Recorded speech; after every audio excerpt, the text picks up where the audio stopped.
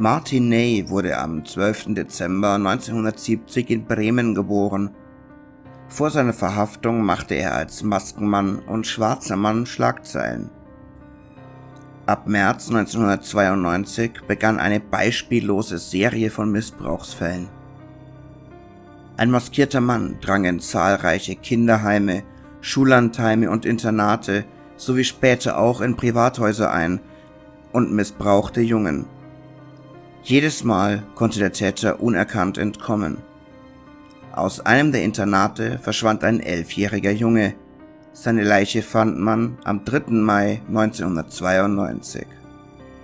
Bis ins Jahr 1995 gab es 19 Vorfälle, welche auf den Maskenmann hinwiesen.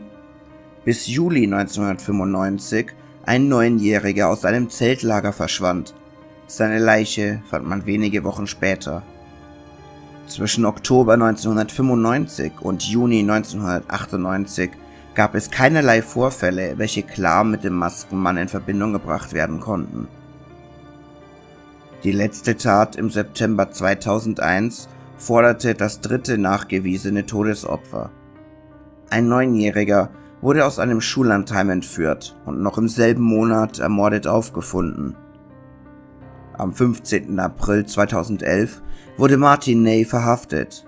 Ein Missbrauchsopfer hatte sich an einen Betreuer seiner Kinderfreizeit erinnert, der ihn über sein Zuhause ausgefragt hatte. Ney gestand die drei Morde und den Missbrauch an mindestens 40 weiteren Kindern. Es kam heraus, dass Ney sogar einen Pflegesohn hatte. Diesen hatte er jedoch nie missbraucht, was der Pflegesohn bestätigte. Ney kam so leicht an die Kinder ran, weil er sich als Diplom-Sozialpädagoge ausgegeben hatte und den Kindern, welche er betreute, Informationen zu ihrer Wohnsituation leicht entlocken konnte.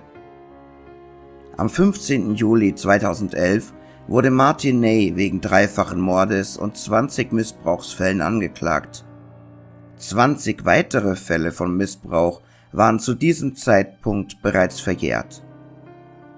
Am 27. Februar 2012 wurde Martin Ney zu lebenslanger Haft verurteilt und die besondere Schwere der Schuld wurde festgestellt. Ney wird wohl bis zu seinem Lebensende in Haft bleiben.